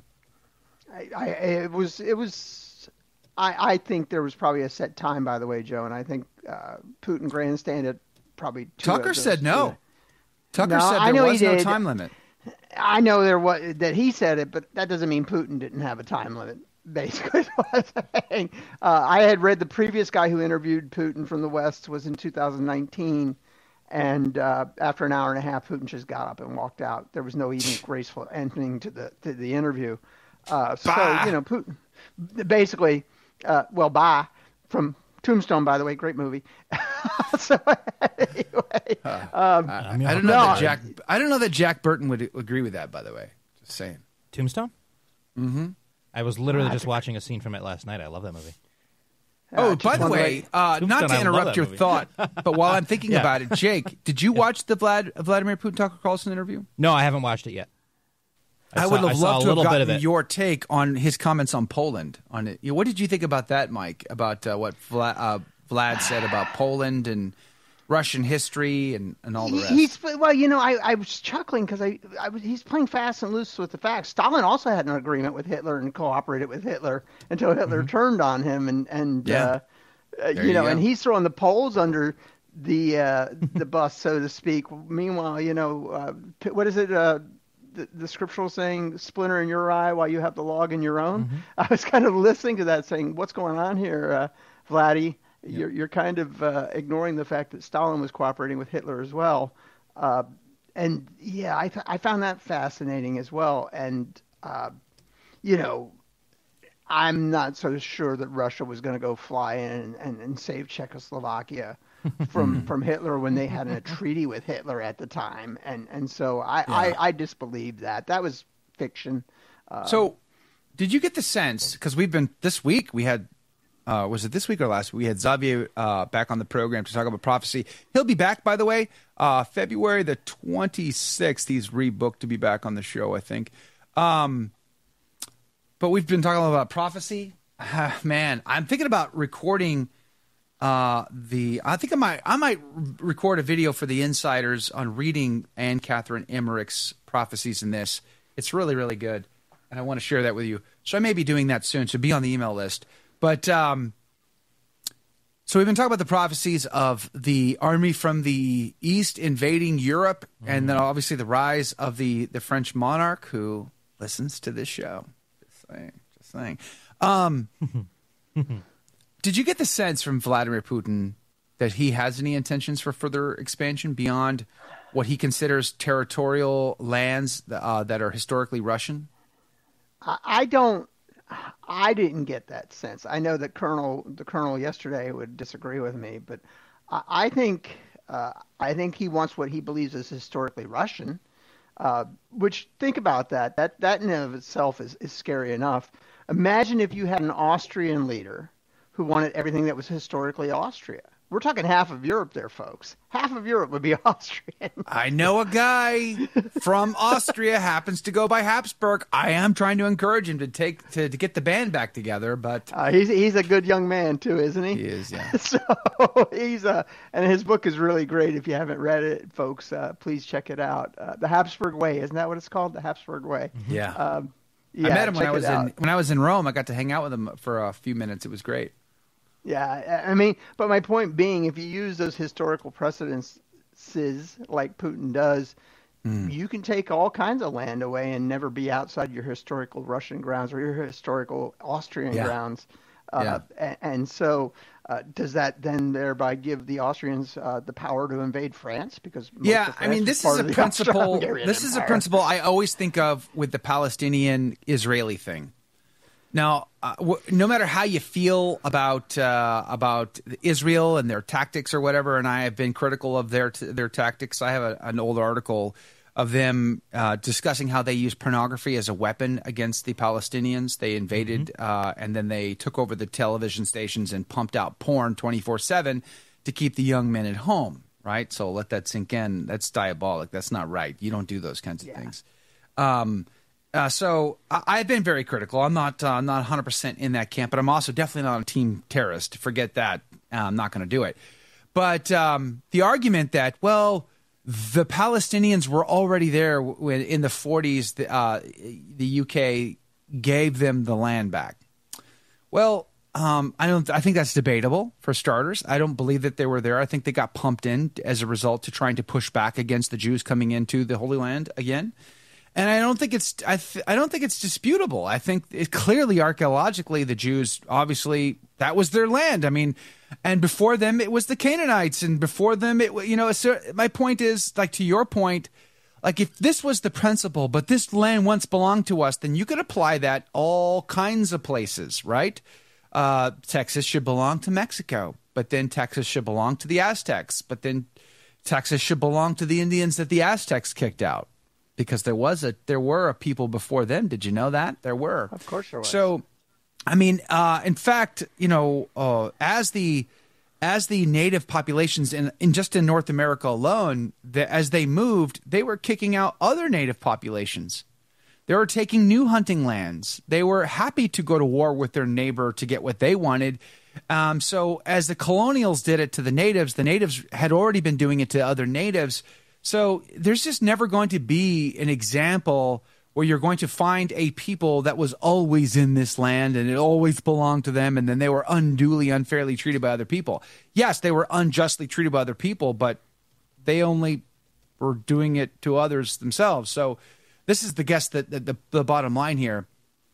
The historical argument doesn't really work in this case, nor does it, I think, necessarily work for the for the Israelis being given the land back by, by the UK. Do I feel like they should have a place to go uh, and live in peace and safety? Yes, 100% I do. And yes, I recognize that the uh, from an archaeological historical perspective that that land was theirs. But I also believe that that land uh, that the new Israel is is the church and uh, and the church is uh, Israel is perfected in Christ and I believe that the church should still rule under a monarch in Israel and I do believe the Jews should live there in peace and they should be evangelized as well. That's what I believe. Because uh, you know, at the end of the day, and by the way, we should all be guard our hearts carefully against anti Semitism, because the day will come that if we get to make it to heaven through the grace of God and perseverance on our part, we will be side by side in the beatific vision with those Jews who do convert in the end. Uh, we need, to, way, we'll, we need to prepare a place in our heart for that day, right? And we'll be judged by a Jewish carpenter. So yeah, there, yeah and and I and I love a Jewish woman. I'm going to be honest with you. Uh, madly in love with with Our Lady, a Jewish woman, and uh, of course the apostles, all being Jews. So Yes. um, you know, It- we need to prepare a place in our heart for those brothers and sisters who will spend eternity with us in the beatific vision. And if there's a hardness of heart towards these people now because of their hardness of heart, then we are missing we are missing the we are the plot point here. Uh, we need to evangelize all and not some, and the ultimate destiny of where we are going is that beatific vision. So let's prepare ourselves for that day, and we need to act like it, right? So I just wanted to make that point. You were Let- saying Let's talk uh, before you throw me off the air. Before Jake throws us off, because I guess he has a hot date or something here in a little while. Uh, yes, I control yes. everything. Did you did you want to talk at all about what we saw on the border and that that? Yes, I do. James so don't O'Keefe? throw us off, Jake, because I, I do I do want to talk about. Well, we're already past the time when I would have. I already made the command decision to let you guys keep talking. See how, J- how see how Jake is totally in charge of everything. Can Oh, I he can I is. just let me just show you this real quick. So this is a story I wanted to cover as well. I don't know if you guys saw this, but James O'Keefe going but James O'Keefe is really reverting back all of a sudden, reverting back to his his early days. This is how James oh, yeah. started. James going into disguise, doing the undercover thing. Remember when he did the whole prostitute going in, a pimp thing going into Planned Parenthood, and they did the whole whatever. It's like this is like James has gone back to basics here. So he's got this new video he's posted uh, ba- out in Tucson, Arizona, where it is highly guarded. It's an entire hotel that's become an immigrant, migrant, illegal migrant uh, facility. It's guarded by police. It's guarded by uh, Customs and Border Protection, and the sheriff's office is even involved. And James tried to go figure out what was going down there, and they were like preventing him from coming onto the property. He he disguised himself as a like a drunken vagrant or something. And then he, he, he was able to get some whistleblowers to take cameras on the inside. So what did they learn? The, the, the whole place is filled with illegal migrants. They learned that they learned that uh, they are that they that the authorities know that these migrants are trained and taught what to say and how to say it, what to avoid saying, and to lie about their status and and whatever. That they have military aged males filling this place up, not women and children. That uh, that there are gang members with prison gang tattoos coming through this place, busloads of illegals coming through this place, and they are being protected and guarded by the uh, by the authorities, and you are not allowed to know about what the real deal is there. And here's the real kicker: it's being underwritten and funded by Catholic Community Services. How do we feel about that, Mike? I was hurt. I, I truly was. In fact, my immediate response was, uh, I think I shot back to you in a text. This is disturbing. Um, it's vile and disgusting. First off, I know it's going to be tough getting an airline flight there because Alexandria Ortez, whatever her name is, AOC, I'm sure has booked all the flights down there to go demonstrate against the uh, Biden administration for the way our illegal uh, folks are being treated. Right? You saw the picture of that ballroom. And I was like, "What a cesspool they're putting these poor people in. This is disgusting Right, that's and the other vile." thing. Yeah. and, and so and to, and to do it in the name of our holy church uh, shame on them i'm sorry shame on Yeah. them Yeah. If, if you don't have the money to house that many people then reduce the number of people you house and, and give them some kind of dignity and I would allow agree. them to be there Yeah. uh, I- setting aside the gangbangers and whoever else is there who shouldn't be there but there were also families there and you see them in that video clip that o'keefe shared and, and i found that incredibly disturbing and, and sad and and like i said where are all the folks that went and protested trump's cages which by the way existed since the, the clinton administration. Oh man, yeah, yeah. I mean, they've been around forever. I mean, good grief, this is not new. Hey, by the way, Carrie, Karen, Andy Bashaw, I agree with you. I, I'm not. I, I'm not a James O'Keefe fanboy. I'm not. Me I either. mean, Me I. I appreciate the the. Uh, I appreciate uh, sort of shining the light into dark spaces aspect of what he does. But as far as him personally, this is a guy who purports to be Catholic but doesn't live like one. So you know, I'm not uh, I'm not singing his praises personally, but I do I do believe that this uh, this these stories need to be outed. You know, as a Catholic, my heart sympathizes with those who want a better life in this country. Amen You know, a better life anywhere. I feel like they're being manipulated. I feel like they're being used from a, for a greater agenda, and they're being a, they're like a pawn in someone else's game for the most part. But I also believe that there are a lot of bad actors in this. Um, not either way. As a Catholic, if our neighbor needs something, our Lord made it clear that we're we're to help. We're to be the help for them. So I don't fault Catholic organizations helping migrants. I don't like there's a there's a there's a clinic here run by Catholic organization that that helps anybody who needs help, whether or not they have immigration status or not. They need medical attention, they get it there. Praise be to God. That should be our that should be uh, our position. We help people. If they need medical attention, we should give it to them. If they need food, we should we should feed them. If they need clothing, we should give it to them, et cetera, et cetera. That's what we're called to do. I believe our borders should be secure. I believe that we should have legal immigration, not illegal immigration. I believe it should be fair and responsible and not a manipulation of any political party whatsoever. And I definitely think we ought to push back against the world uh, world agenda power elites that are using this for their for their end goal. I, I definitely believe that. But at the same time, like this, it's clear to me that going through this kind of reporting, we're discovering that what's the real deal here? It's a money game. They're getting paid. It is payday. It is guaranteed payday. It is government funds for every immigrant that they help. They're getting paid. They're happy to go through all of this Oh, yeah. to keep the money train going. And this is where I say it is the Catholic Church who who uh, who gave us the soup kitchen. It is the Catholic Church who gives us the universities. It is the Catholic Church that gives us hospitals. Get out of our way. Let us do what is our mission to do. What what God gave us the mission to do: to evangelize the world first, and to care through corporal works of mercy for the uh, for others second. When the bubonic plague hit, doctors left town. Catholic priests stayed right? Yep. That's the deal. So, um, but we ought not to be taking government funds. And I think immediately the USCCB should cease taking all government funds, 100%, cut it all off, get rid of this milk cow, and stand alone on your own two feet and the God given mission that, that Jesus Christ handed to, you- to you through the apostles down through the ages.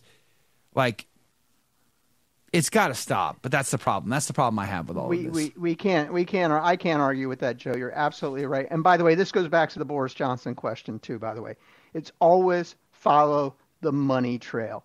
Follow the money trail on these issues. Why did Boris Johnson kibosh the peace deal with Putin? 72 billion with a B dollars of aid that's gone to Ukraine. Who benefits from that? Yeah, Who benefits the from emergency that? funding bill. The emer- Yes. we, they put together an emergency funding bill, not for the border security issue, but for Ukraine. By the way, funded funded at a level higher than the Coast Guard and the Marine Corps' total budgets combined. Which is and uh, how, what- how many 50 Republicans 50 were on were on Team Ukraine? Team give money to Ukraine, but not to the border. Yeah, no. I'm sorry. I, I you you, you got to you all have to lose your jobs. I just no, I'm done. The, done. the shocker to me was Tom McClintock, who who used to be a really good conservative, and he's obviously flipped as well. So I, I, I am I and I'm not trying to divert us away from this border discussion because what I watched was disturbing. And like I said, I know all the Democrats are getting ready to go down there and protest, which is probably why you can't get a flight there. Uh, but that that's this was serious. These are both very seriously disturbing, and but no lover of James O'Keefe either. Uh, but he does he does shine the flashlight in dark Yeah. spaces that it's not supposed to go, doesn't he? Yeah. And and and I I people deserve to be treated with dignity. Obviously, uh, at, le- that's what our church teaches us, right? That's Right, what the, that's what our yeah. our Savior taught us. Which is So- why it's it's hard for us to as Catholics because clearly the Republicans, the so-called conservatives, they have a very worldly point of view. I, am sorry, I don't share that. I'm Catholic. I look at the whole world and every single issue uh, through the Catholic lens. That's why it's my Catholic. It's a Catholic take, right? So it's a Catholic take on everything, literally everything, because there's only one body, Christ's body.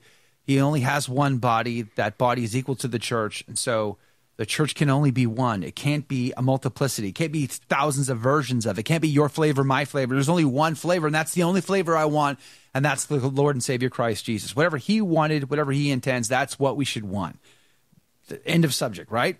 so agreed. The Republicans, the so-called conservatives, and even the libertarians, they only take us so far, right? So we put all our baskets. Joe, we got to you got to be on the team, or, or else the other side wins. Are you kidding me? How many Republicans have been in office or Congress, been in charge of Congress, and nothing has changed? we still spend way above. Just ask Vladimir Putin. He reminded us last night that we are spending way more than we need to be spending right now. So not only is China bigger, has a better economy, according to Vladimir Putin, but we have massive border problems and an economic disaster. And there you go. So Republican, Democrat, what's changed? Foreign policy, what's changed? Nothing, nothing. Border security, what's changed? Nothing. So here we go. You putting all your eggs in that that evangelical, that worldview, uh, that earthly here and now worldview conservatism you're going to be disappointed every time. Oh, oh, it's it's Woods rule number one. No matter who you elect, you get John McCain's foreign policy. That's rule Bingo. Woods rule number one. And you're Yeah. always going to get. Doesn't matter if it's Obama or Trump, sadly, or Yeah. whomever. You're going to get. You're going to get that that policy. And uh, by the way, if you don't think there are bigger powers in, in play here, Trump. I believe Trump said thought he everything he said in 2016 before he got elected, and what happened once he got the office. What happened? Well, he got shown like okay, so like Tucker, he got he got he got schooled. He got schooled by the bureaucracy. He got schooled by the the deep state. He got shown that you can't be you, you're going to walk in here thinking you're the art of the deal guy. Oh yeah, well hold my beer, watch this, and um and so maybe he's a little wiser now, but he's also a lot, a lot more compromising now. Yeah, So- his, his his compromise on abortion is disturbing to me. You know it is. We've talked about this, but yeah, I, I I'm I'm I'm struggling a bit with Joe. I'm I'm just thinking aloud here, and and and pardon me if I mess this up.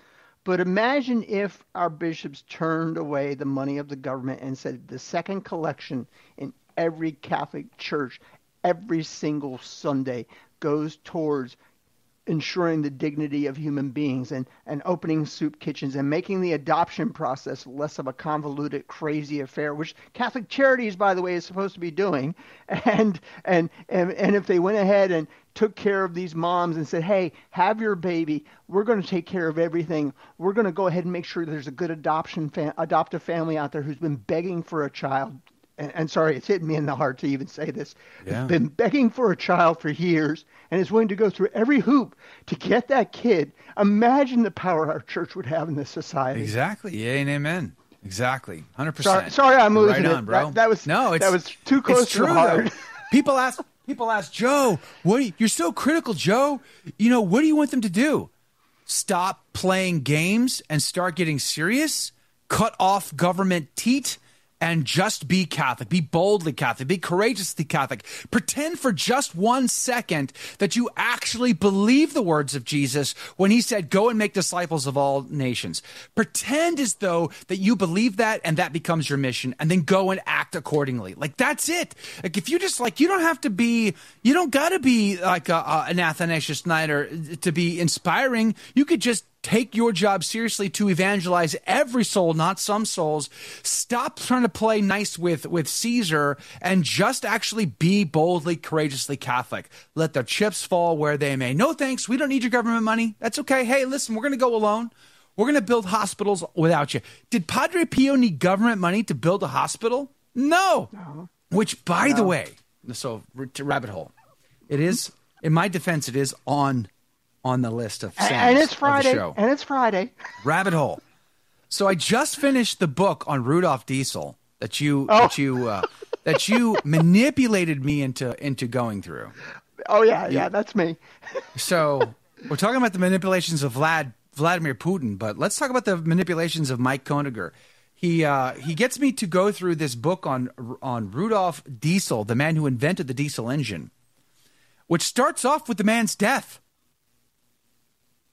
Did he commit Mm-hmm. suicide? Was he murdered by the, the, the Rockefellers Or the Kaiser. Or the Kaiser. or the Kaiser? So, uh, uh, uh, Padre Pio, Padre Pio was gifted the was gifted the um, uh, the patent. I think it was the patent or the license. It was maybe there was a license. It was the license for the the diesel locomotive. Right. Right. Right. Right.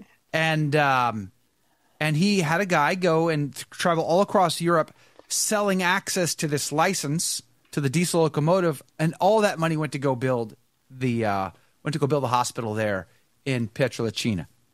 So San Giovanni uh, there, an amazing hospital, state of the art, best of the best. Never took government mo- money for it, but he did take diesel money for it. And Diesel, by the way, it's an incredible book. It was a great, great story.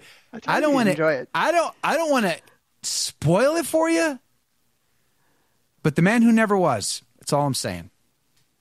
You the know, man the- who never the- was. But I can't sad- find that movie now. I need to go watch that movie, The Man Who Never Was. I can't find it. I can't find it Here, here's anywhere. the sad part of that book, and I don't know if you caught it, but I did. And and and please chime in. You have this Bavarian Catholic who essentially turned his back on his historical faith in Rudolf Diesel, and that was the part that I wished I had read more about in the book. Uh, how how does how did they end up going to Lutheran churches in Paris? Number one, they're from Bavaria, which is very Catholic. Yeah. Um, and, and number two, how does he end up writing that that worldly new age tome that he wrote in the middle of all his successes that nobody bought? Well, money. and- yeah. Money, money will do that to you. He became very powerful, very, very wealthy. The diesel engine revolutionized the industrial revolution. So, without the diesel engine, could we say we are where we are today? No, Probably not. No, we couldn't. We couldn't. Uh, the and, and diesel think engine about it. His was success, a game changer. His success hit him when he was Jake's age. I He had mean- invented the engine when he was Jake's age. Isn't that amazing? So it's not I mean, late like, for me. you can't get to a Cummins engine, okay, in a Ford F three fifty diesel four x four, unless you have Rudolf Diesel. I mean, that's how baller well, that man was. uh, All right, all right, Joe. We got to fix here. Cummins would be Dodge. Oh, okay. what, what's what's the diesel in the in the in the Ford then? I'm. I don't know. I have a Dodge. I think the, I think the I think the Ford is the uh, Ford is the Power Stroke. What's right? the?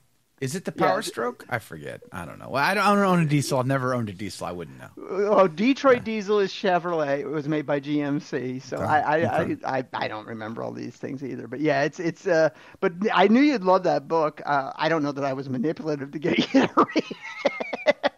Uh, it was great though. I enjoyed it. It was really. I don't think you have to manipulate anything to get Joe to read a book.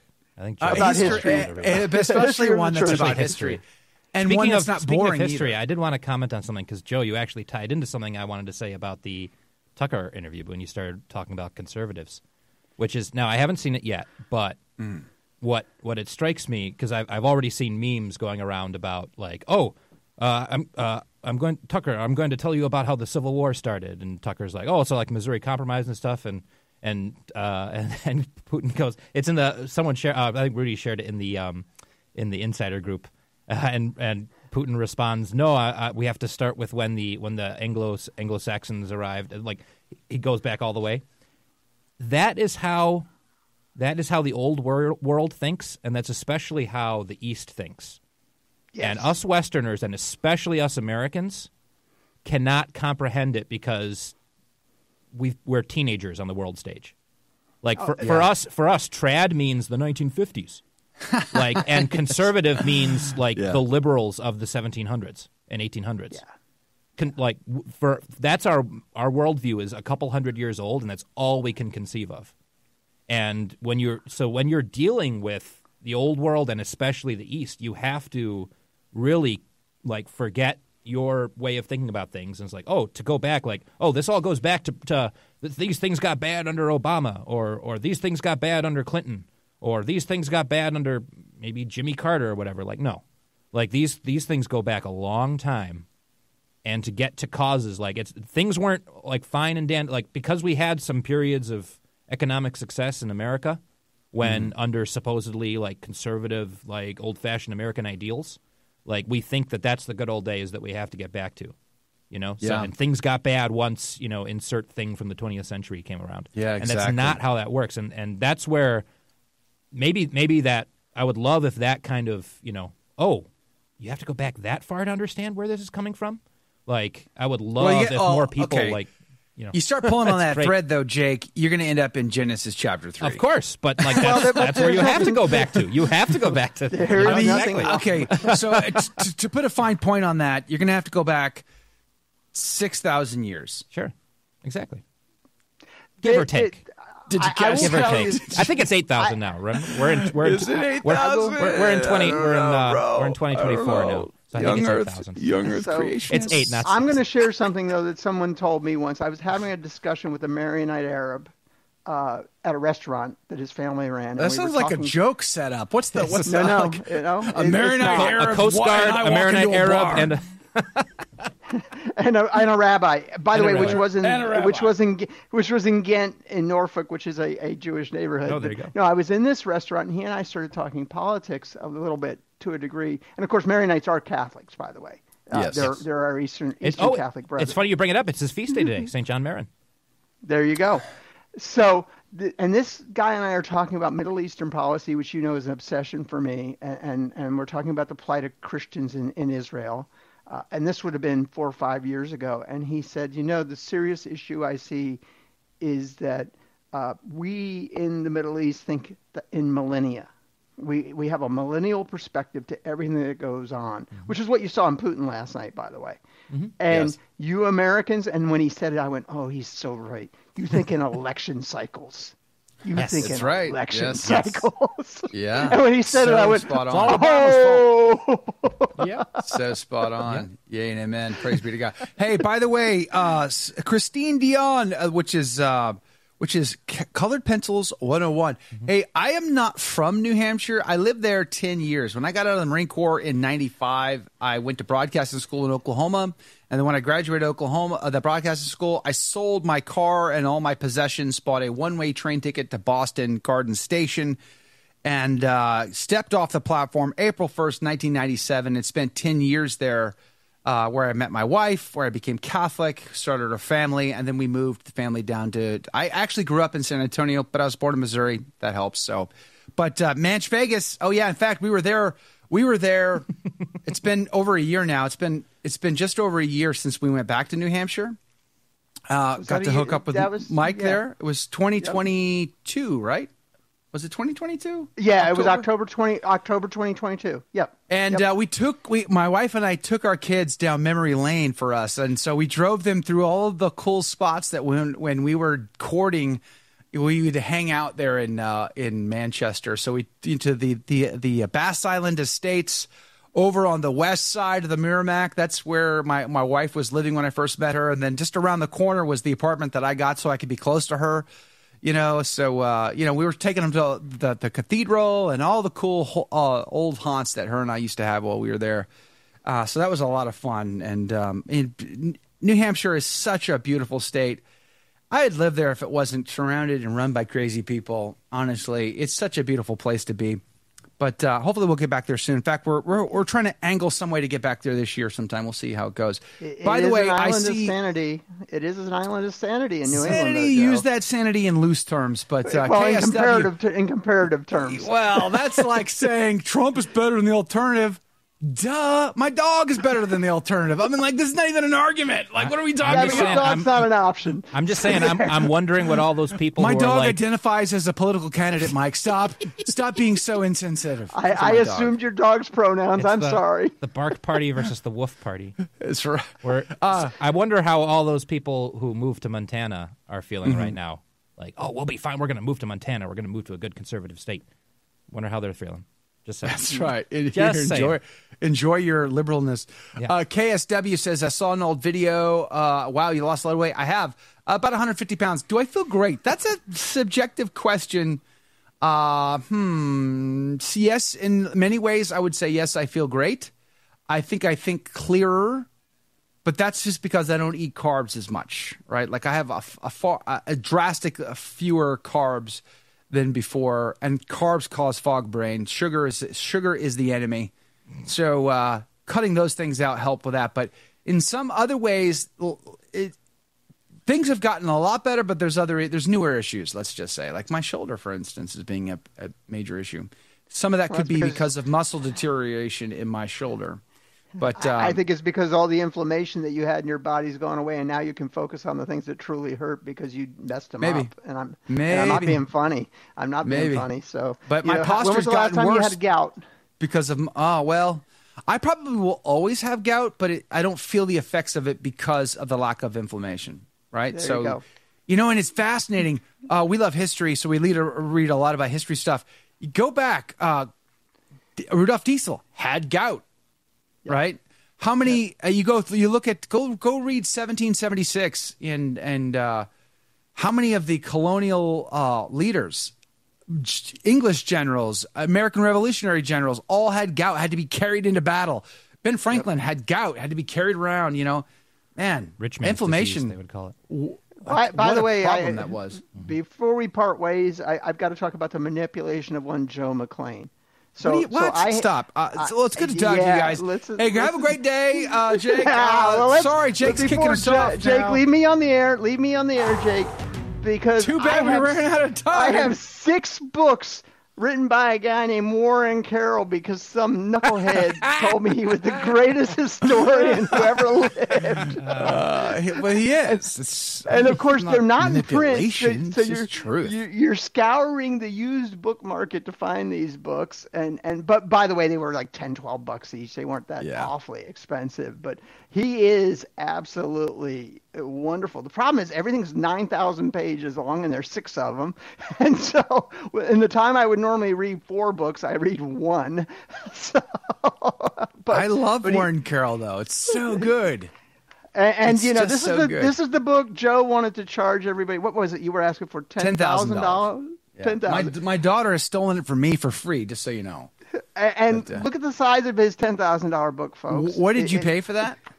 Uh, was your this cost? was uh, 119 pages, including the end notes. I think it was 20 or 30 bucks. It wasn't terrible. 30 bucks for 119 pages. Well, when I bought it, I didn't know it was 119 pages. Although Joe. I paid 50 bucks for this guy, and it's equally small. It's tiny, but it's got really small print, so it takes a lot longer to read.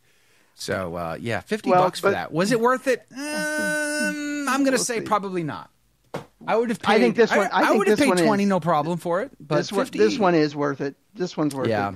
one's and then I so I go to the ICC, which you also manipulated me into, by the way, the Institute of What Catholic what? Culture. I can't be to blame for your troubles.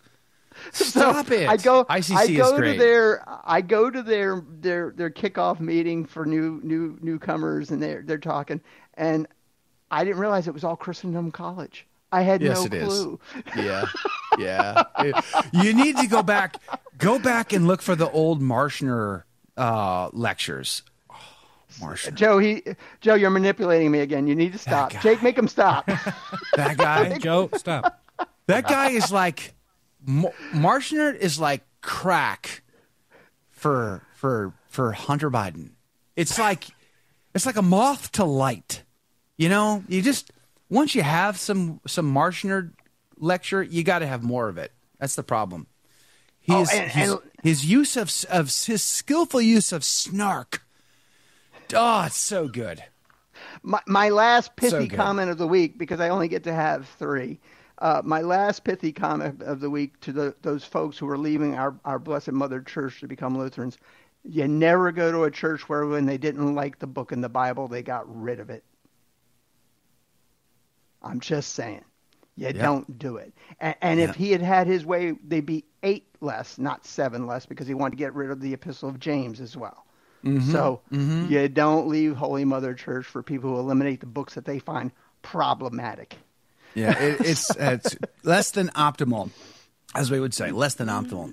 Yeah. All right. I, I'm, that's it. I'm out of pithy comments. You might as well put Good us off news. the air now. good news, bad news. Uh, the good news is we're we're we're out of time. Um, so you you can stop manipulating us now, Mike.